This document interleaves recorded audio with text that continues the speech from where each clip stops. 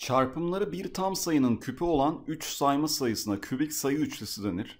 120, 150 ve x sayıları kübik sayı üçlüsü olduğuna göre x'in en küçük değeri kaçtır denmiş. Şimdi bunların tabi çarpımlarının bir sayının kübü olması için ne olması lazım arkadaşlar? Çarptığınız zaman bu sayıların üstündeki şu üstün 3'ün katı bir sayı olması lazım. Buna göre bakacağız o yüzden. Şimdi 120 arkadaşlar nedir? 24 çarpı 5 yani 2 üzeri 3 çarpı 3 çarpı 5'tir. Sonra 150'ye geldiğimiz zaman 25 çarpı 6'dır. Yani 5'in karesi çarpı 3 çarpı 2. X'i de bilmiyoruz. Şimdi bunların 3'ünü çarpacağız arkadaşlar. 2'nin kübü bir de burada 2 var. 2 üzeri 4. 3, 3, 3'ün karesi. Sonra 5, 5'in kübü. Çarpı x. İşte bu ifadenin bir sayının kübü olması için ne olacak arkadaşlar? Burada çarp, çarpacağımız x'in bu sayılarla üstleri toplandığı zaman 3'ün katı elde edecek şekilde bir sayı bulmamız lazım. Yani 2 üzeri 4'e en az kaç eklersek üstüne 3'ün katı olur? 2 eklersek. Demek ki x arkadaşlar 2'nin karesine içine alıyormuş. Sonra yine aynı şekilde 5'in kübü zaten bir sayının kübü problem yok. 3'ün karesinde de ne diyeceğiz? x'i arkadaşlar içinde 3 üzeri 1 olan bir sayı kabul edeceğiz. Dolayısıyla 4 çarpı 3'ten 12 bu x'in en küçük değeriymiş. Göstereyim bakın size. Ee, burada 2 üzeri 6, 3 üzeri 3 çarpı 5 üzeri 3. Gerçekten bir sayının arkadaşlar kübüdür. Üstleri 3'ün katı olduğu için. Cevabımız B şıkkı bu yüzden. x ve 7 aralarında asal sayılardır. Buna göre 3 bölü x7 küçüktür 5 koşulunu sağlayan kaç farklı x tam sayısı vardır? Şimdi e, önce payda eşitleyelim ki eşitsizliği daha kolay yapalım arkadaşlar. Burada 3 çarpı 7'den 21, sonra küçüktür x, sonra küçüktür 5 kere 7'den 35. Paydaları bakın hepsinin 7, 7, 7 gördüğünüz gibi. Şimdi daha kolay sıralarız. x ile 7 aralarında asal yani birden başka ortak bölenleri yok. O zaman x'e kaç verebiliriz? 22, e, 23, 24 nokta nokta nokta 34'e kadar her sayıyı veririm. Sadece neyi veremem? Arada 28 arkadaşlar tabii ki 7'ye tam bölündüğü için aralarında asal değillerdir. Bundan dolayı arkadaşlar 22'den 34'e kadar 34 eksi 22 artı 1'den normalde 13 sayı vardır. Ama 28 alamayız aralarında asal olmazlar tam bölünüyor çünkü. 12 tane sayı varmış arkadaşlar C şıkkıymış. Yukarıda bölmelere ayrılmış ve her bir bölmesine tam sayılar yazılmış 4 geometrik şekil verilmiştir. Bu geometrik şekiller kenar sayıları aralarında asal olan iki çokgen aynı grupta olacak şekilde iki gruba ayrılıyor. Gruplar içerisinde bulunan çokgenler üzerindeki sayılar toplanıyor. Buna göre oluşan iki toplam arasındaki farkın mutlak değeri kaçtır?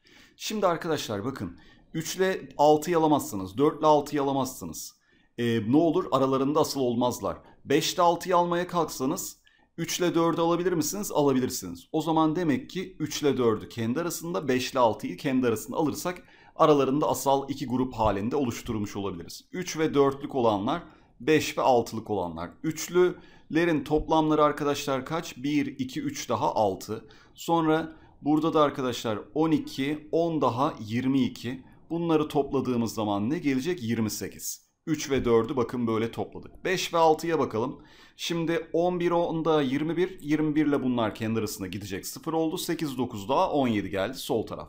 Burada da bakın 17 16 daha 33 eksi 33 ile götürür birbirini. 15 ile eksi 15 birbirini götürür. Buradan da 14 oldu. Böylece 31 yaptı.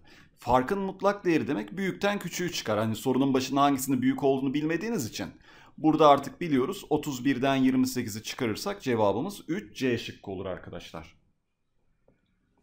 Aralarında asal dediği zaman arkadaşlar sadeleştirilemeyen kesirlerdir. Yani A bölü B eğer böyle C bölü D'ye eşitse ve A ve B aralarında asalsa A direkt mecburen C'ye eşittir. B de D'ye eşittir. Örnek 2 bölü 7 eşittir X bölü Y dediğimiz zaman x ve y aralarında asalsa direkt x 2'ye eşittir, y 7'ye eşittir. Ama böyle bir bilgi yoksa ne deriz?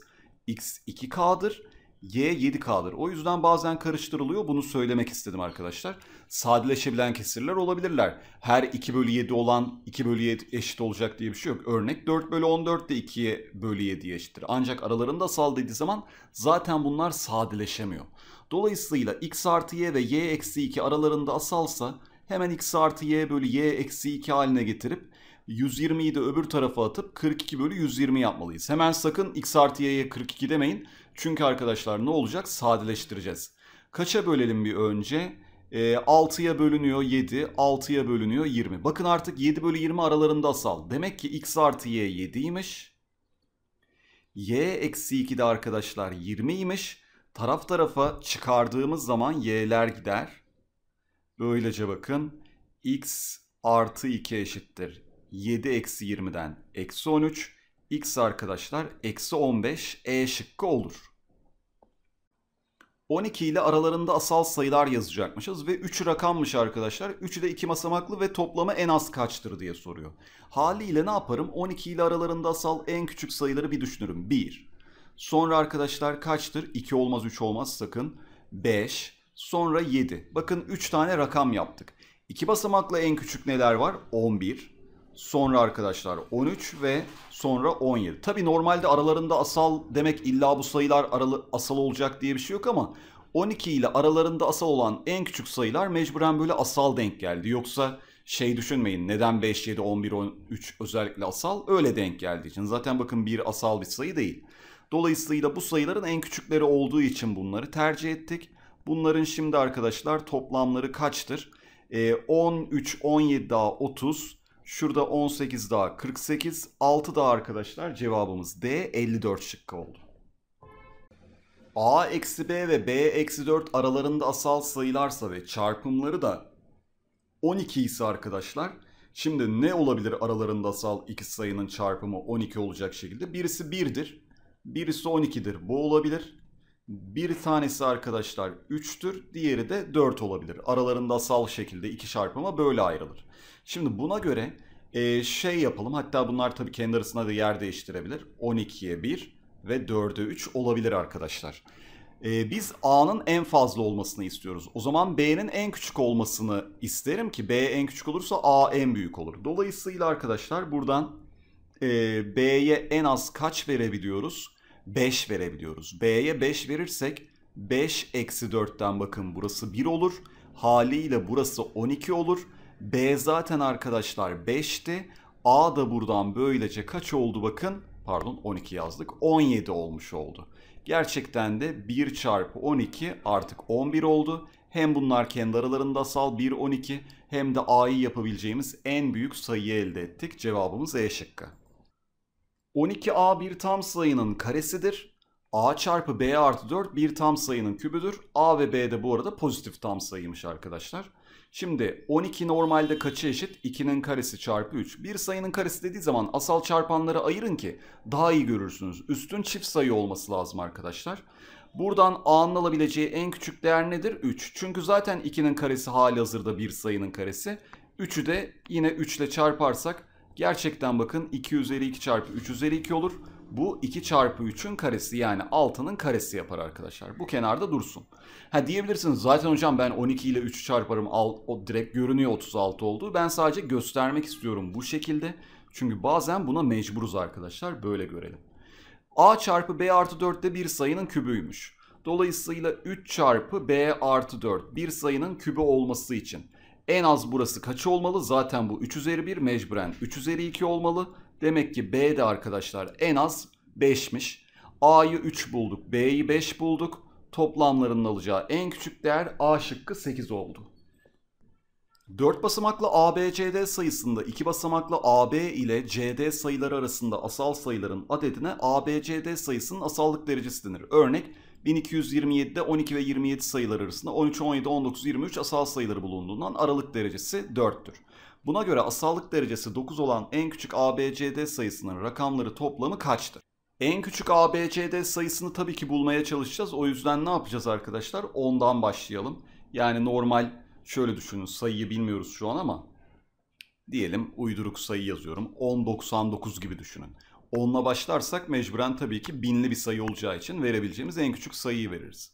Şimdi 10'dan itibaren e, şuradaki sayıyı bilmiyorum. CD olarak dursun. Bunların arasında 9 tane asal sayı olacak. Yani 11, 13, 17, 19, 23, 29, 31, 37 1, 2, 3, 4, 5, 6, 7, 8 sonra ne var arkadaşlar? 41.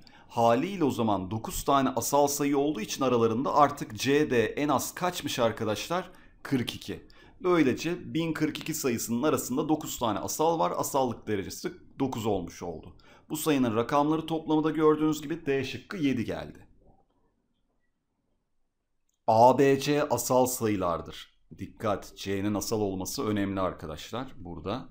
Ee, ve buna göre A artı B artı C toplamı nedir diyor. Bir asal sayı ne demektir? Kendisiyle 1'in çarpımı demektir. Dolayısıyla C'nin çarpanı da burada ne olacak? C çarpı 1. Haliyle burada ne yapmamız lazım? Bir tanesi C'ye eşit bir tanesi 1'e eşit. Buradan da arkadaşlar asal sayı dediği için A'ya 10 veremeyiz. Burayı 1 yapmak için mecburen B'ye 7 vereceğiz. B'ye 7 verirsek gerçekten bakın 7 eksi 7'den 5 üzeri 0 oluyor. Sonra arkadaşlar e, A da mecburen kaç olacak arkadaşlar? 13 üzeri 1 olması için A da 11 olacak. B'ye 7 verdik. A'ya da 11 verirsek A'da asal sayı olur. Böylece 13 üzeri 11 eksi 10'dan 1 çarpı 13 böyle de C asal sayı olmuş olur. C 13 B arkadaşlar 7, A 11 toplamları 18, 13 daha 31 A şıkkı oldu. İfadesini asal sayı yapan A değerlerinden biri aşağıdakilerden hangisi olmaz? Şimdi burada tek tek şıklardan bir bakmak lazım arkadaşlar. Çünkü e, bu sayıyı tahmin etmek zor. Belki 2 üzeri 17 eksi 1 belki arkadaşlar asal sayı değildir. Onu nereden bileceğiz?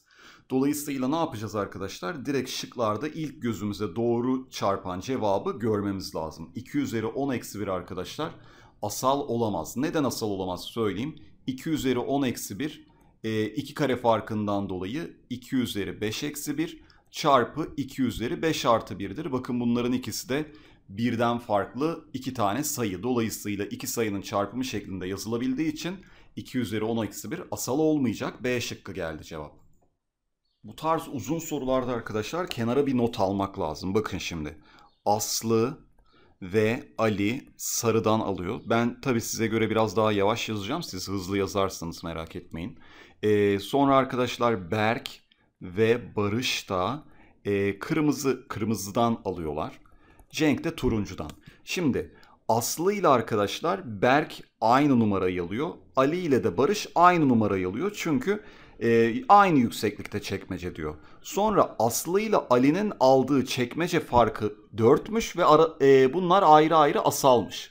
Ayrı ayrı asal olmaları için mecburen birisi 7 alacak, diğeri de 3 alacak. Aynı mantıkla o zaman Berk ve Barış da 7 ve 3'ten seçmesi lazım. Çünkü bunlar da arkadaşlar yine aynı şekilde aynı yükseklikten alıyorlar diye söylüyor soru. Şimdi buna göre Cenk arkadaşlar bunların seçtiğini seçmiyor bu bir. 7 ve 3'ü almayacak. Hem 3 hem 2 ile aralarında asal ne demek arkadaşlar? Bakın burada hem 3 ile hem de 2 ile aralarında asal o zaman 5. Bu bakın. Ee, sonra arkadaşlar 1 olabilir. Hem 3 ile hem 2 ile aralarında asaldır 1. Başka hem 3 ile hem 2 ile aralarında asal olan sayı yok. O zaman 5'i de alabilir, 1'i de alabilir arkadaşlar. Böylece 7 3 daha 10, 7 3 daha 10. E, Cenk 1 de alabilir, 5 de alabilir. 1 alırsa 21 olması lazım, şıklarda yok. 5 alırsa arkadaşlar 25 olur, şıklarda var. D şıkkı olabilir diyordu zaten. Kümesinin elemanlarından N tanesi seçilerek SB eşittir N olacak biçimde B kümesi oluşturuluyor. B kümesinin elemanlarından herhangi ikisi her zaman aralarında asal olduğuna göre N en fazla kaçtır? Herhangi ikisi aralarında asalsa arkadaşlar bakalım şimdi 1 alabiliriz. Sonra arkadaşlar 2 alabiliriz. 3 alabiliriz. 5 alabiliriz. 7 bunlar alabiliriz. Bunlar zaten asal olduğu için aralarında da asal gelirler. Başka artık arkadaşlar sayı alamayız. Neden biliyor musunuz? Şimdi siz gitseniz 4 alsanız bu sefer 2 ile arasında olmaz. 6 alsanız 3 ile olmaz. 9 alsanız 10 ile olmaz. 8 alsanız 2 ile olmaz. Dolayısıyla burada seçeceğimiz en fazla eleman sayısı gördüğünüz gibi 5 oldu. C şıkkı geldi cevabımız. N bir pozitif tam sayı olmak üzere n faktöriyel çarpı 3n artı 1 sayısı 13 ile aralarında asaldır. Buna göre n kaç farklı değer alabilir? Bir kere 13 ile aralarında asal olduğuna göre içinde 13 çarpanı olmaması lazım. Böylece arkadaşlar haliyle n normalde 1'den 12'ye kadar her sayıyı verebiliriz değil mi? Şimdi yalnız herhangi bir sayıda 3n artı 1 13'e de eşit olmasın. Ona da dikkat edelim. 3n artı 1 13'e eşit olmasın. Böylece n neye eşit olmasın arkadaşlar? 4'e. Bak n'ye 4 verince 13 çıkıyormuş. Aradan onu da çıkartalım. 1'den 12'ye kadar normalde 12 sayımız var ama 4 verince 3n artı 1 13 olduğu için 11 tane sayıda hiçbir problem olmaz. 3 13 ile aralarında asal olacaklardır. Cevabımız C şıkkı olur bu yüzden. N bir sayma sayısı olmak üzere 3n-10, 6n-13, 5n-13 sayılarının 3'ü de asal sayıdır. Buna göre bu sayıların toplamı kaçtır? Şimdi arkadaşlar 3n eksi şey 5n eksi 13 bakın n'ye tek verirsek çift sayı olur. O yüzden n'ye tek vermemeliyiz. Ona dikkat etmemiz lazım. Buna göre düşünelim. Şimdi n'ye arkadaşlar çift sayı verdiğimiz zaman bu tek olacaktır. E, buna çift sayı verdiğimiz arkadaşlar zaman çift olacaktır. O zaman buradan uyanmamız gerekiyor mevzuya. Demek ki n'ye kaç vermeliyim buradan? 4. n'ye 4 verirsem çünkü asal sayı gelir. 12 eksi 10'dan 2 olur. Bakın sayı verirken bile düşünerek hareket etmemiz lazım. Dolayısıyla arkadaşlar 3 kere 6 18 eksi 13 5 oldu. 3 kere 5 15 e, pardon 4 vermiştik değil mi? Şurayı hemen düzelteyim o zaman. 4 vermiştik. 4 kere 6 24 eksi 13 11 oldu. 4 kere 5 20 eksi 13'ten 7. Bakın bu şekilde 18 2 daha 20 yaptı.